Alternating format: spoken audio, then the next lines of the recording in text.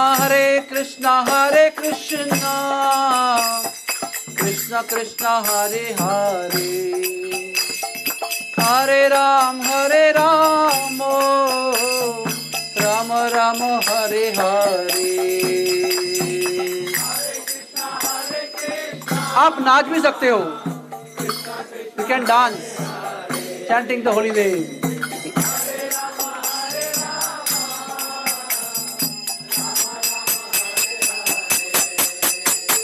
Hare Krishna, Hare Krishna, Krishna Krishna, Hare Hare, Hare Ram, Hare Rama, Rama Rama, Hare Hare.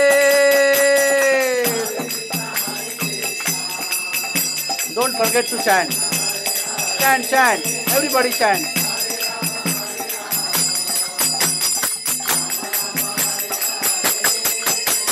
Hare Krishna. Hare Krishna, Krishna Krishna, Hare Hare, Hare Rama, Hare Rama, Rama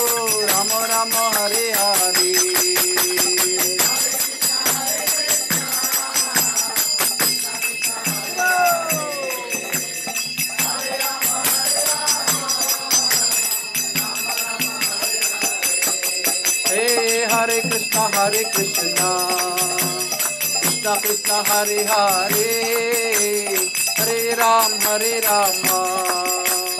Ram Ram, Hare Hare.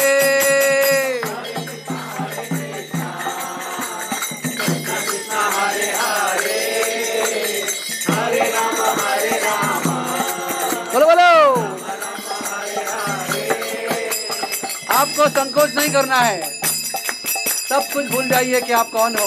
Doctor हो, nurse हो, businessman हो, अमीर हो, गरीब हो, पुरुष हो या स्त्री हो, भूल जाओ पुकारो हरे कृष्णा हरे कृष्णा कृष्णा कृष्णा, हरे हरे हरे राम हरे राम राम राम, हरे हरे।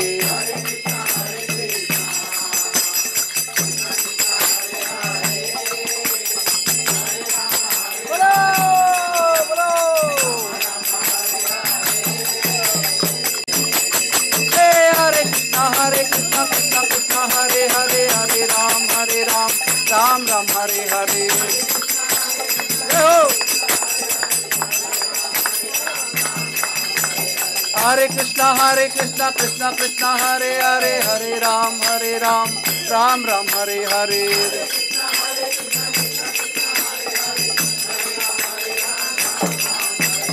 हरे कृष्णा हरे कृष्णा कृष्णा कृष्णा, हरे हरे हरे राम हरे राम राम राम, हरे हरे।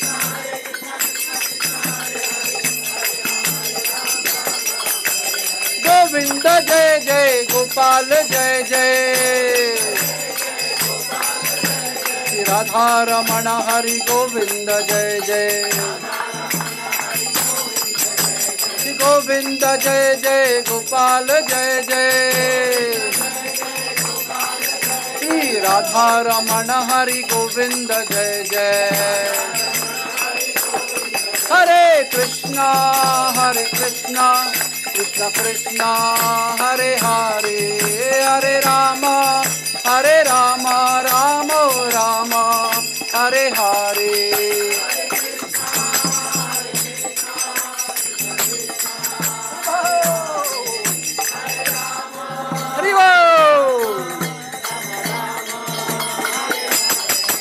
तो इस धाम में हमको एक बात बताना, समझना ज़रूरी है कि यहाँ के जो वृक्ष होते हैं केवल ये वृक्ष नहीं तो बहुत विशेष वृक्ष है।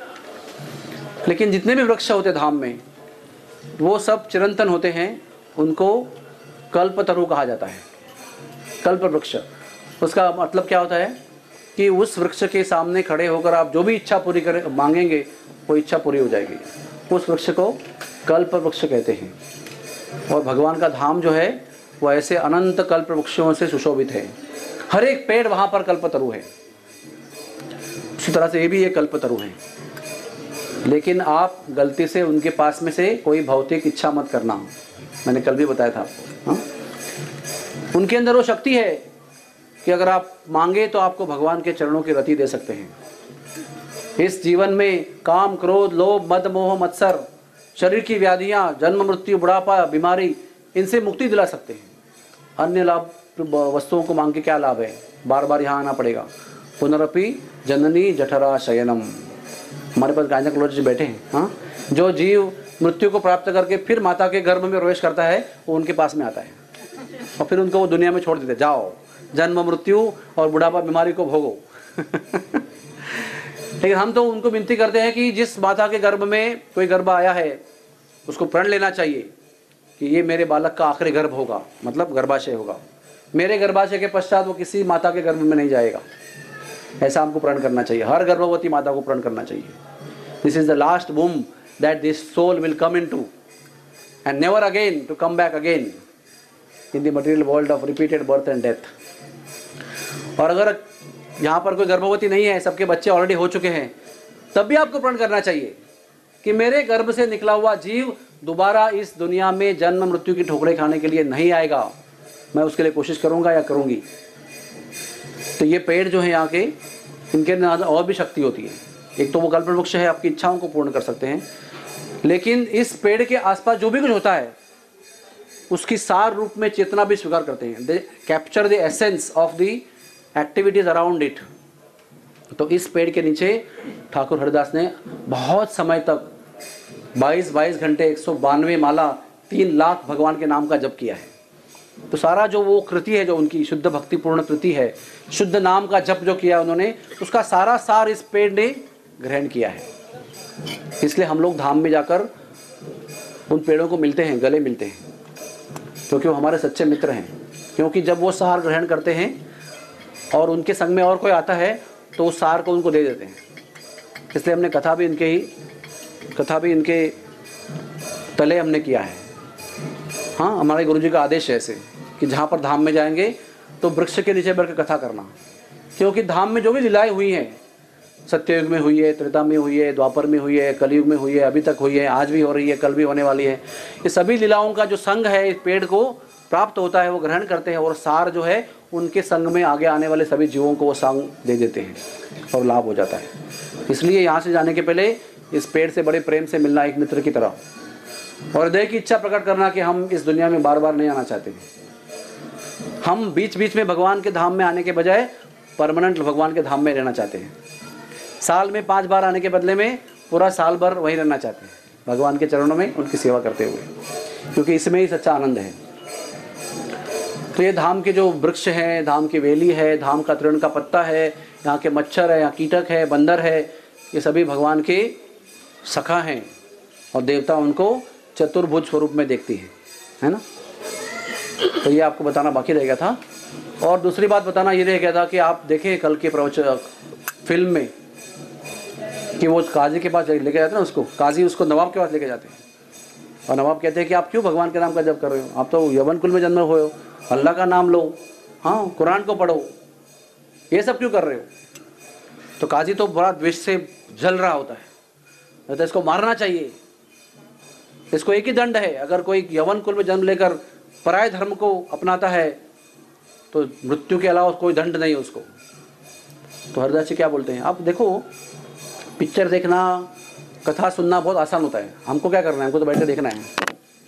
लेकिन आप अपने आप को हरिदास के पोजीशन में जाके देख लो। Go in his shoes and see क्या उनकी स्थिति होगी। हाँ? सब लोग उनको धमका रहे हैं। जान से मार देंगे आपको। बंद करो आपका हरिनाम कीर्तन।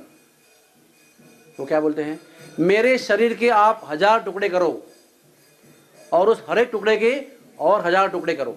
मतलब कितने टुकड़े हो गए? दस लाख हो गए ना? दस लाख टुकड़े करने के बाद भी हर एक टुकड़े से भगवान का नाम का आवाज़ सुनाई पड़ेगा आपको। क्योंकि मैं भगवान के नाम के जप की विधि से इतना आसक्त हो गया हूँ कि मैं उसको छोड़ नहीं सकता। मेरे अस्तित्व को आप दस लाख टुकड़ों में विभाजित कर सकते हो। लेकिन फिर भी हर एक टुकड़ा भगवान का नाम ही पुकारेगा। जैसे अर्जुन की अवस्था थी। युष्ण ने पूछा, कृष्ण भगवान को कि आपने अर्जुन को क्यों चुना? गीता सुनाने के लिए। हम भी आपके भक्त थे। हम भी आपके साथ में बैठकर गीता सुनने के योग्य थे। उन्होंने कहा, आपको बताएँगे कभी समय आने पर? तो एक बार अर्जुन विश्राम कर रहे थे। तो भगवान ने कहा युष्टि से जाओ, उनके पास जाओ और उनके शरीर के किसी भी हिस्से पर अपना कान लगाओ। तब युधिष्ठिर जब उसके पास में गए तो उनके रोम रोम से कृष्ण कृष्ण कृष्ण की ध्वनि निकल रही थी। हर एक रोम से। तब वो समझ में कि ये इनको क्यों चुना उन्होंने? उनका पूरा अस्तित्व था, उनकी मन, बुद्धि, उनका शुद्ध अहंकार, उनका शरीर, उनकी इंद्रियाँ, उनके शरीर का कण कण जो है वो कृष्णमय था, समर्पित था उनके लिए। उसी तरह से ब्रह्मा जी जब हरिदास ठाकुर के रूप में आए तो उनका हर एक अस्तित्व, हर एक कर्ण जो था उनके अस्तित्व का, वो तो भगवान के नाम के लिए समर्पित था। अरे हम लोग सोचते हैं, अरे हमारा बीमार है, हम लोग हमको कैंसर हो गया है, हमारा बच्चा अपाइज है, हमारे घर में माता बीमार है, हमारे घर में धन नहीं है, हमारे घर में गरीबी है, हम पढ़े लिखे नहीं हैं और ये समस्या है, हमारा डिवोर्स हो रहा है, हमको ये तकलीफ़ है, हमको वो तकलीफ़ है, हम भगवान का नाम नहीं कर सकते। क्या हम कह सकते हैं कि हमारे जीवन में ठाकुर हरिदास जैसे कष्ट आया हुआ है कभी? क्या हम कह सकते हैं कि हमको प्रहलाद का कष्ट हमारे जीवन में आया है कभी? हर रोज प्रहलाद के पीछे एक राक्षस, दो राक्षस, पचास राक्षस जो है, भयंकर शस्त्रों को लेकर उनको मारने के लिए आते थे। खेल खेलने के लिए नहीं, जान से मारने का आदेश था उनको। ठाकुर हरिदास को भी मारने का आदेश दिया गया था, इसे मारो। जो कोड़े दो मार्केट में मारने के बाद में व्यक्ति की मृत्यु होती थी, वो स्वयं बोल रहे ना, वो मारने वाले। अरे, तुम जीवित कैसे हो? दो मार्केट प्लेस में मार खाने से वो आदमी मर जाता है, तुम तो वाकई बहुत शक्तिशाली लगते हो। और मारने वाले थक गए, लेकिन उनके मुँह से कृष्ण का नाम बंद नहीं हुआ। और यहाँ तक कि नहीं, अभी आज के कथा में आपको फ़िल्म में दिखाएँगे कि जब उनको मारने का शुरू आरंभ हुआ तो महाप्रभु चैतन्य वहाँ पर प्रकट हो गए, बहुत भयंकर क्रोध में, क्योंकि भगवान जो है वो भक्तों का अपराध सहन नहीं करते। तुरंत वहाँ पर आए, चक्र चक्र करके चक्र को आह्वान किया, उनके हाथ पर चक्र तुरंत प्रकट हो गया और आदेश दिया, जाओ, इनका वध करो। लेकिन उसी समय हरिदास ठाकुर उनके मुख को देखकर बोल रहे थे, भगवान, इनको माफ़ करो। इनके अपराध को स्वीकार मत करो। ये बड़े दुखी और बड़े, क्या कहते हैं उसको बैड लक मतलब दुर्दैवी जीव है ये। उनको पता नहीं वो क्या कर रहे हैं। इसलिए उनके अपराध को आप मत लेना। मेरी तरफ़ से मैं उनको माफ़ करता हूँ आप भी उनको माफ़ कर देना। तो इनकी दया और करुणा को देखकर भगवान का चक्र उनके उंगली से बाहर नहीं निकला। चैतन्य महाप्रभु ने बताया बाद में उनको कि मैं मेरे चक्र को अपनी उंगली से नहीं बाहर कर सका। चक्र मेरा नियंत्रण से बाहर चला गया था। Chakra could not follow my orders क्योंकि आपकी करुणा का प्रभाव इतना तेज था कि मेरा क्रोध उस पर हावी नहीं हो सका। फिर मैं असहाय हो गया। चैतन्य महाप्रभु कह रहे हैं, चैतन्य महाप्रभु परम भगवान, परम पुरुष, लीला पुरुषोत्तम भगवान कह रहे हैं कि आपके करुणा के सामने मैं असहाय हो गया, मैं उनको दंड नहीं दे पाया। तो मैं क्या करता? तो मैंने मेरी कांति को आपके शरीर पर डाल दिया। और सारे घाव जो है, वो मैंने स्वीकार कर लिए अपने पीठ पर। देखना चाहते हो? और चैतन्य महाप्रभु घूम गए ऐसे। और पूरे लाल कोड़ों कोड़ों के घाव गिरे हुए जो दाग थे उनके पीठ पर थे। तब हरिदास ठाकुर बेहोश हो गए। कि भगवान, आपने मेरे लिए ऐसे क्यों किया? क्या मेरी योग्यता है कि आपने मेरे लिए ऐसा किया? तो हम देख सकते हैं कि बहाना बनाना तो बहुत आसान है हम कहीं बहाने बना सकते हैं। अरे, प्रभु जी प्रैक्टिस सेटल नहीं हो गया है अभी। प्रभु जी फैमिली सेटल नहीं हो गई है। प्रभु जी, अभी तक घर पर लोन है। हाँ प्रभु जी माता जी घर में बीमार है। अरे शरीर में ये कष्ट है। रात को नींद नहीं आती है। ब्लड प्रेशर बढ़ा हुआ है। शुगर बढ़ी हुई है। क्या करें? पंद्रह घंटा काम करना पड़ता है। मैं अभी ये बड़े बड़े पोस्ट पर हूँ। बारह बारह घंटे मीटिंग होती है। जहाँ ट्रैवलिंग करना पड़ता है। तो ये जब नहीं होता पाता है प्रभु। ये सब बेकार के बहाने हैं। क्योंकि जब आप मृत्यु के सामने खड़े हो जाएँगे तो मृत्यु को नहीं बोल सकते, प्रभु जी बहुत बिज़ी थे हम लोग। ये मीटिंग थी, वो मीटिंग थी ट्रैवलिंग कर रहे थे यूके यूएस में जा रहे थे। मृत्यु बोलेंगे थैंक यू वेरी मच दोबारा आ जाओ। मृत्यु के सामने कोई आर्गुमेंट नहीं है। एक ही आर्गुमेंट मृत्यु के सामने हो सकती है। वो है भगवान का नाम। अगर वो आप करते हैं, लेते हैं तो मृत्यु के जो दूत होते हैं मैसेंजर्स ऑफ़ डेथ यमदूत, वो आपके सामने आ ही नहीं सकते। दे कैनॉट कम देयर उनको टालने का केवल एक ही मार्ग है, वो है हरिनाम। अजा मिलने, असहाय अवस्था में, अनजाने में भगवान को पुकारा। यमदूत आए, भ्रमित हो गए और चले गए। और यमराज को प्रश्न करने लगे कि ये क्या बात है? हम कुछ नहीं कर सकते। बोले, जहाँ पर हरिनाम होता है, वहाँ पर आपका अधिकार नहीं है। जहाँ तुलसी माला कंठ में पहनी गई है, वहाँ पे आपका अधिकार नहीं है। और अगर आपको उस समय पर भगवान की याद करनी है तो आपको अभी से प्रैक्टिस करनी पड़ेगी। उस समय वही याद आएगा जो आपने जीवन भर किया है। जीवन भर धन कमाया है, धन की याद आएगी। जीवन में प्रैक्टिस किया है तो प्रैक्टिस की याद आएगी। जीवन भर बालक पे प्रेम किया है तो बालक ही याद आएगा। और जीवन पर भगवान को प्रेम किया है, उनका नाम लिया है तो वही याद आएगा। इसलिए अगर हरिदास ठाकुर, वो क्या कहते हैं, जब काजी उसको मिलने आते हैं, माफ़ी मांगने के लिए, नवाब भी आता है और जल्लाद भी आते हैं मारने वाले, हमको माफ़ कर लो तो क्या कहते हैं कि जीवन में कोई भी संकट आ जाए मृत्यु सामने खड़ी हो, आपके को बीमारी हो जाए, बुढ़ापा, बीमारी से आप ग्रस्त हो, कोई संकट आपके आ जाए, फिर भी भगवान का नाम लेना नहीं छोड़ना, ऐसा कहते हो। क्योंकि वो एक ही तारण करता कार्य है, भगवान के नाम का जब कितने निर्भय थे वो। भगवान का नाम का जो सहारा लेता है, वो सही रूप में निर्भय हो जाता है। निर्भय का मतलब ये नहीं कि किसी बड़े आदमी से डरना। हाँ निर्भय मतलब मृत्यु से भी आदमी निर्भय हो जाता है। मृत्यु को गले लगाता है, क्योंकि जानता है कि जब मैं मृत्यु मेरी हो जाएगी तो मेरे प्रिय भगवान से मेरी मुलाकात हो जाएगी। मेरा मिलन होगा उनसे। इसलिए मृत्यु से डरता नहीं, वो मृत्यु का इंतज़ार करता है, वो कब वो घड़ी आएगी, जब मैं शरीर से मुक्त होकर मेरे प्रिय भगवान के चरणों में लीन हो जाऊँगा। वो निर्भयता है। अई नंद तनुज किंकरम पतितम माम विषमे भवाम बुधो। हे भगवान, इस दुनिया में विषम भव सागर में मैं डूब चुका हूँ। कृपया तव पाद पंकज, स्थित धूलि सदृशम विचिंतया। आप मुझे चरणों में एक धूली कण की तरह आश्रय दे दीजिए। वही मेरा असली स्थान है और वही सबसे अभय स्थान है, जहाँ पर दुनिया का कोई प्रभाव, त्रिगुणों का प्रभाव, जन्म मृत्यु जरा व्याधि का प्रभाव, गलत मति का प्रभाव वहाँ पर नहीं हो सकता है। इसलिए हम सबको वो अभय स्थान जो है, वो प्राप्त करना है। हरिदास ठाकुर कितने निर्भय थे हाँ? कितना विश्वास के साथ बोलते हैं कि मैं मरना पसंद करूँगा, लेकिन नाम नहीं छोड़ूँगा। नवाब बोलते, क्यों इतना जिद कर रहे हो? मैं छोड़ दूँगा आपको। आप खाली ये ज़ोर से बोलना छोड़ दो, खाली बस इतना ही करो।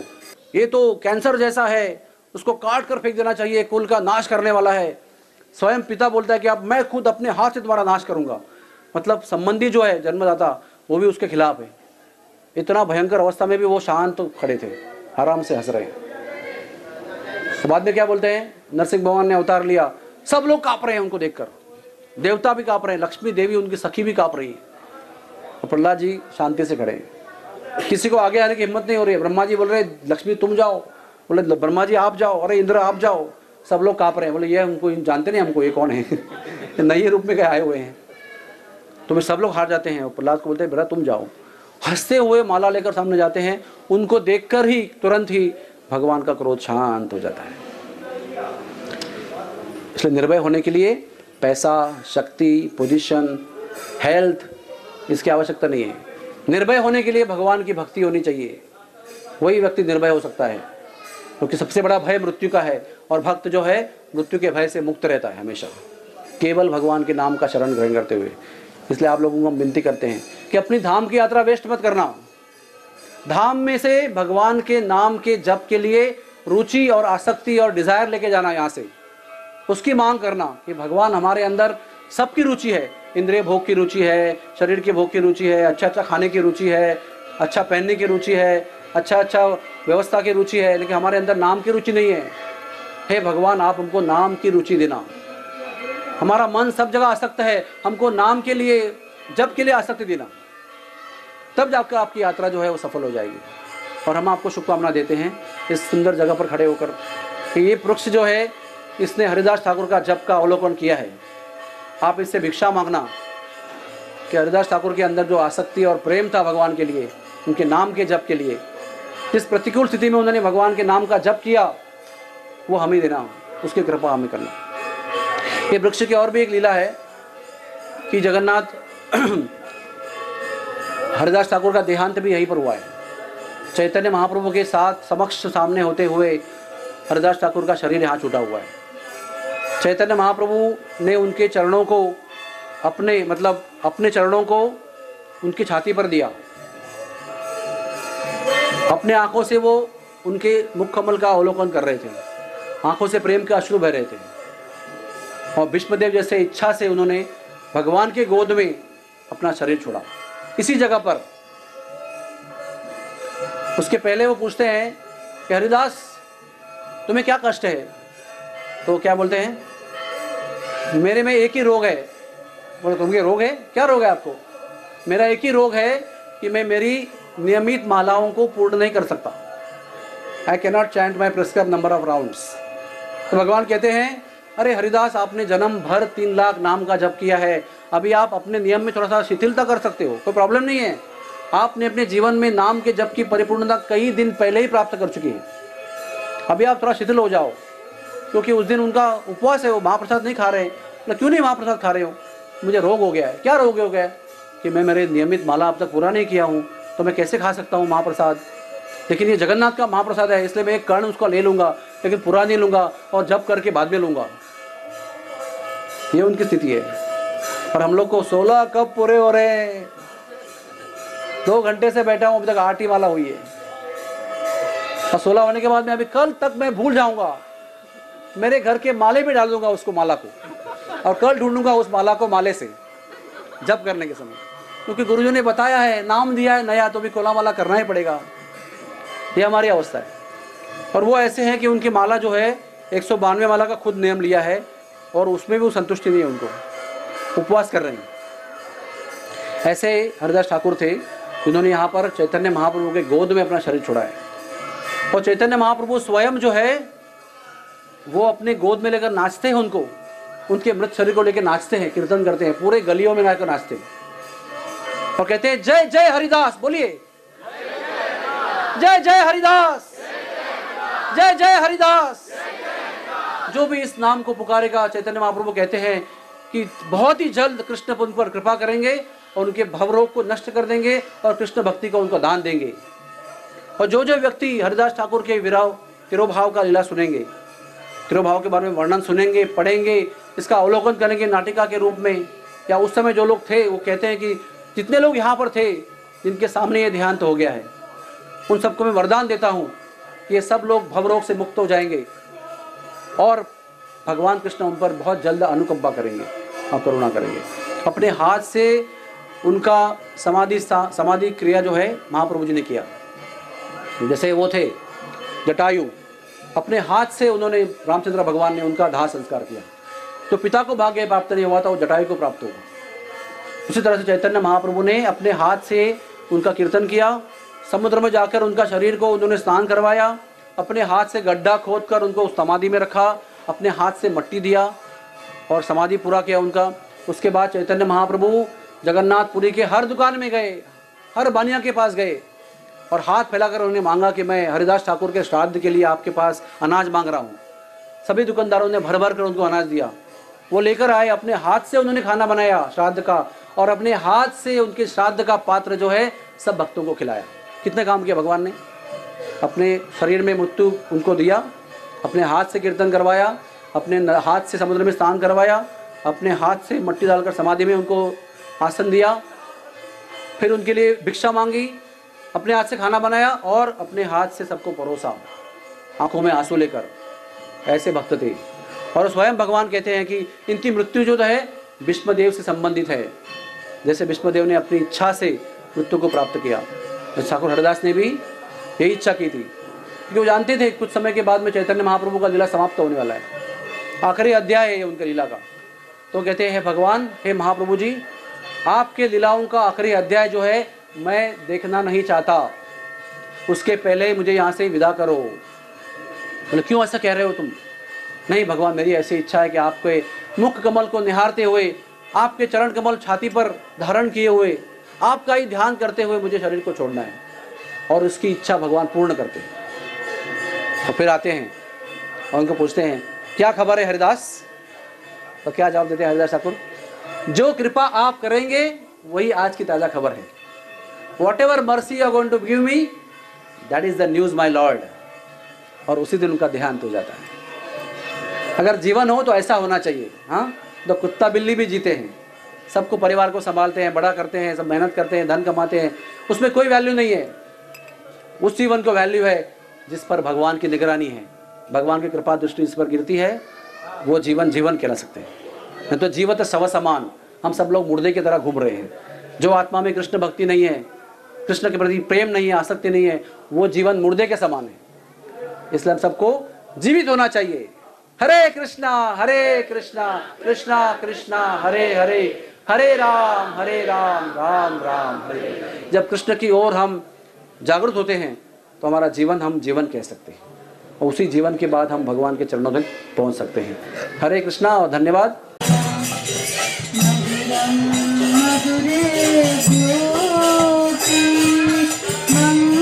ज्योति मङ्गले ज्योति पावनेभ्योऽपि हरे नामैव केवलम्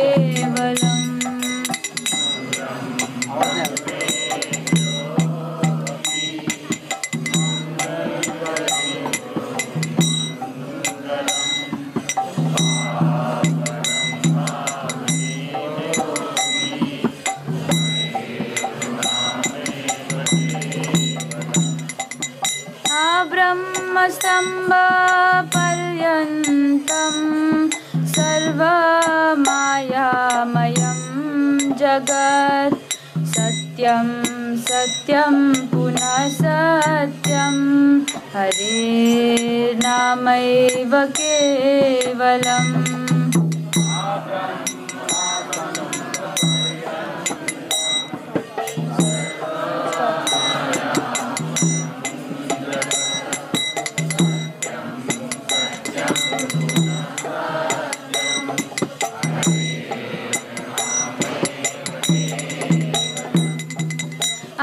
आब्रह्मस्तम्भपर्यन्तं सर्वमायामयं जगत्। सत्यं सत्यं पुनः सत्यं। हरे नामैव केवलम्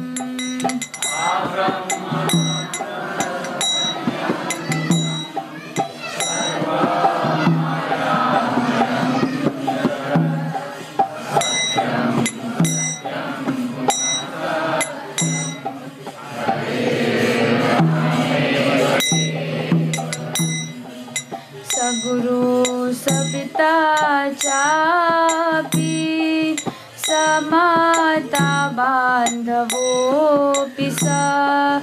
शिक्षये चेत् सदा स्मर्तुं हरे नामैव केवलम्। सपिता चापि।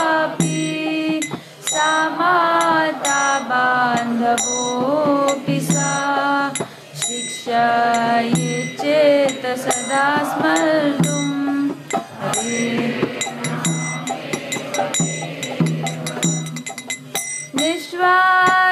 नाहि विश्वास कदा रुदो भविष्यति।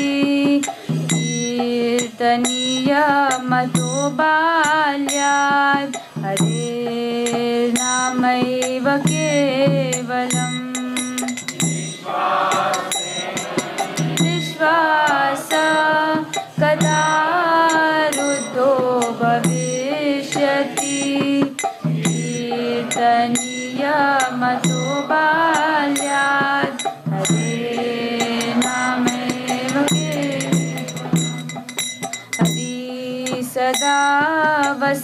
तत्र यत्र भागवता जना।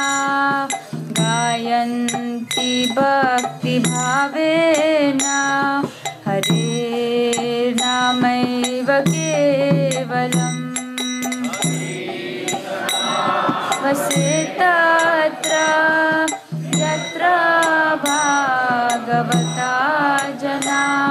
गायन्ति भक्तिभावेन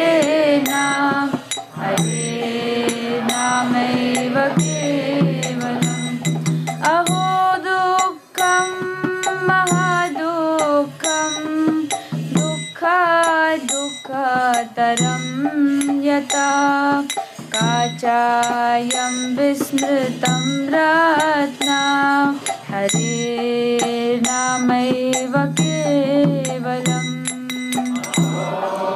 दुःखं महादुःखं दुःखादुःखतरं यथा काचायं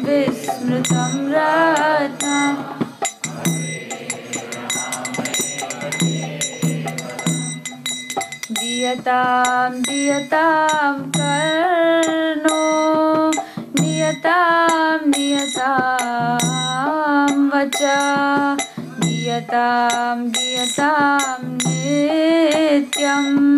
हरेर्नामैव केवलम्। नियतां कर्णो नियतां नियतां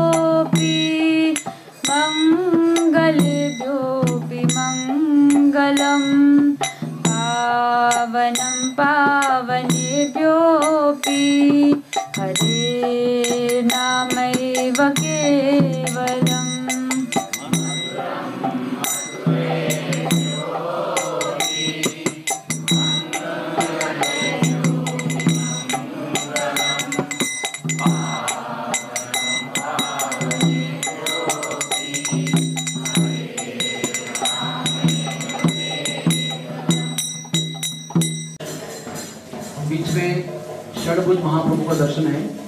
छह भुजा वाले चैतन्य महाप्रभु। दो भुजा राम की है, दो भुजा कृष्ण की है और दो भुजा चैतन्य महाप्रभु। बाजू में गौर निताई है और लेफ़्ट साइड में जगन्नाथ जी के बीच में है और साइड में गौर निताई है। बीच में नीचे राधा माधव है और राइट साइड में नरसिंह भगवान की मूर्ति है। ये इस मंदिर के अंदर है।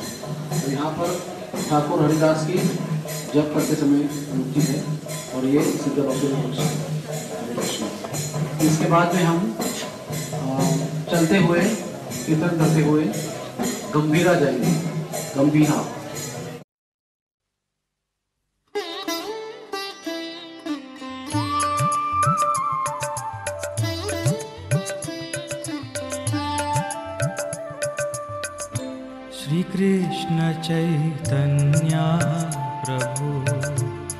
दया करो मोरे। श्री कृष्ण चैतन्या प्रभु, दया करो मोरे। तुम बिना के दयालु जगत संसारे। तुम बिना के दयालु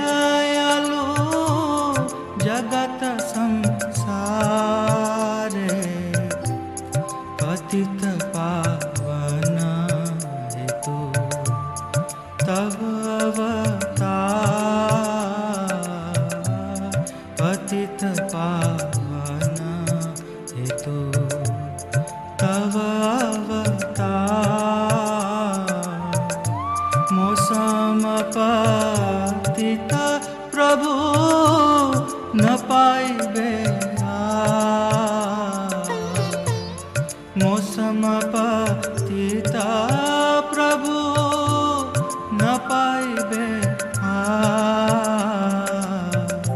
श्री चैतन्य प्रभु दया करो मोरे। श्री कृष्ण चैतन्य